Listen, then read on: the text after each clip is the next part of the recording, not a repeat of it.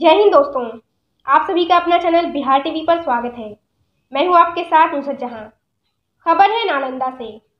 अस्थामा थाना क्षेत्र के अंदी गाँव में बोरसी के धुएँ से दम घुटने से एक बच्चे की मौत हो गई है, जबकि एक ही परिवार के पाँच लोग धुएँ के कारण बेहोश हो गए।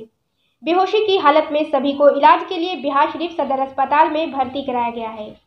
परिजनों ने बताया कि बीती रात अधिक ठंड रहने के कारण कमरे में बोरसी जलाकर एक ही कमरे में कुल छह लोग सोए हुए थे।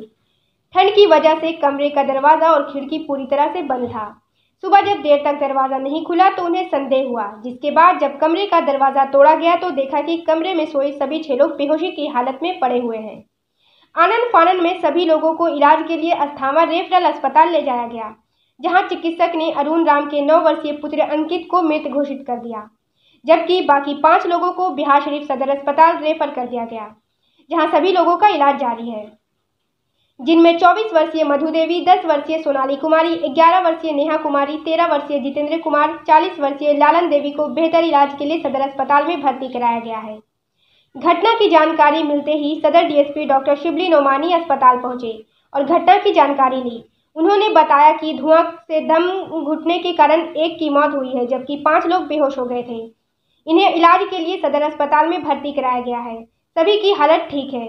उन्होंने लोगों से ठंड के मौसम में कमरे में अंगीठी जलाने के बाद कमरा नहीं बंद करने का अपील की है। थाना क्षेत्र के अंधी गाँव का मामला है। इसमें इनके परिजन का कहना है कि कुल परिवार के कुल बच्चों के साथ कुल छः आदमी जो है, एक रूम में सोए हुए थे। जाड़े को लेके पूरा खिड़की इत्यादि को सब बंद करके सोए थे। और सुबह में जब रूम का गेट नहीं खुला तो उनके परिजन के द्वारा काफ़ी कोशिश किया गया लेकिन अंदर से ये लोग बंद करके सोए हुए थे तो तोड़ा गया गेट में। तो ये सभी बेहोशी की स्थिति में मिले इसमें एक अंकित कुमार हैं, पिता का नाम राजीव राम, नौ वर्ष के हैं, उनकी मृत्यु हो गई है, और जो बच्चे और उनकी महिलाएँ हैं कुछ छः लोग पाँच लोगों को इलाज के लिए यहाँ लाया गया है इन लोगों का इलाज कर रहा है। ऐसा लग रहा है कि जो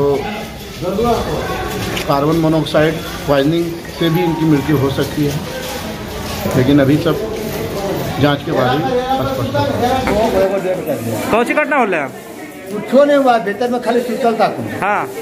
और हुआ है कुछ नहीं। तो कै बीमार है? छो को पाँच गो आया एगो डेट कर दिया। एगो डेट कर गया है। किनके घर में हुआ था? सोहन के पोती हुआ। अच्छा। तो सब एक कमरा में सोए थे? हाँ एक ही कमरा में। कहाँ घटना? है कहाँ की घटना? है अंधी अस्थामा? हाँ। क्या नाम है आपका? हमारा नाम है वीरेंद्र राम। नौ बजे के टाइम में बुआ खा पी के माने अंदर सुते गया बोरसी उर्सी ताप उठ के और सुत गया। और उसके बाद बेहोश हो गए कखने होले बेहोश कोई तो नहीं देखल सवेरे मने छः बजे के बारी कहला पर खोलावल गए तो देखे तो कुल नर्भस से मोबाइल से देखल के तो कुल गिरल पटकल हको भीतर में। वह केवाड़ी उष्टा के खंती से निकाल के के निकाल के बाहर ले के तो फिर हॉस्पिटल लेके अलियो देखावे लगी। क्या मृत्यु हुआ?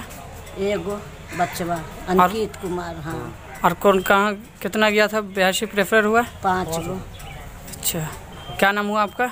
हमारे सरोजनी देवी नाम। इसी प्रकार की आने वाली हर छोटी बड़ी ताज़ा खबरों को पाने के लिए हमारे YouTube चैनल बिहार टीवी को सब्सक्राइब करें और तुरंत नोटिफिकेशन पाने के लिए बेल आइकन को प्रेस करना ना भूलें।